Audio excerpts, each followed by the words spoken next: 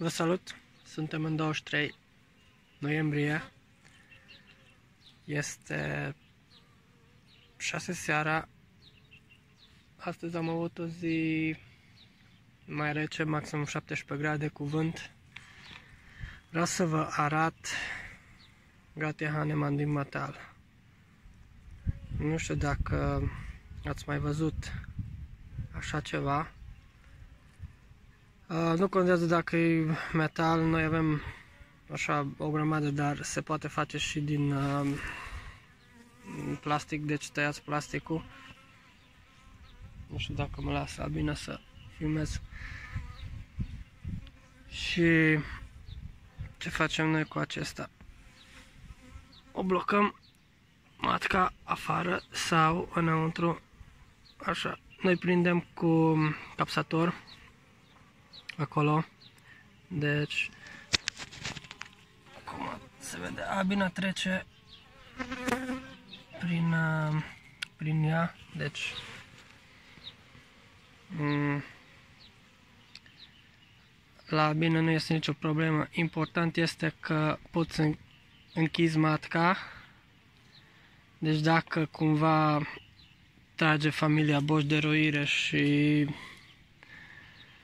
n-ai timp de familie sau, mă rog, ai ceva probleme, pui la udiniș, matca rămâne înăuntru, când uh, vrea să zboare afară, matca n-are cum să zboară, albina revine în stup.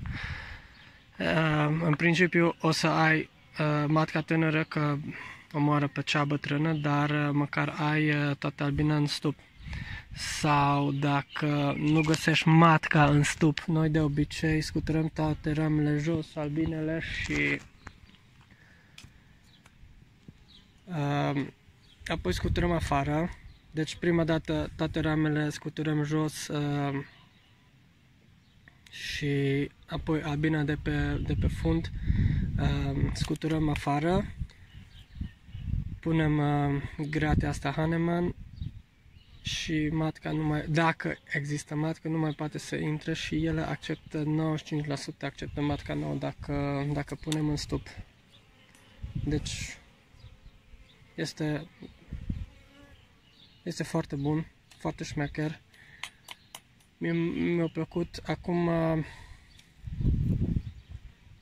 singura chestie, trentorii rămân înăuntru numai albina poate să treacă, deci dacă folosiți acest uh, Gratia Haneman sau mă rog tăiați cel galben. Uh, vedeți că trenturii sunt uh, blocați. Noi păstrăm 2-3 zile sau mă rog 2 săptămâni, când, depinde când uh, ajungem înapoi la stup. Dar la prima verificare o luăm jos, că normal dacă albina nu mai stă afară, ori nu a avut matcă, ori matca a murit uh, afară și o să vedeți că matca nouă uh, deja a început uh, ponta în stup. Cum uh, depozităm bramele? Este simplu, pe palet, în cutii și, nu știu, sau mă rog, aici. Și uitați. Așa.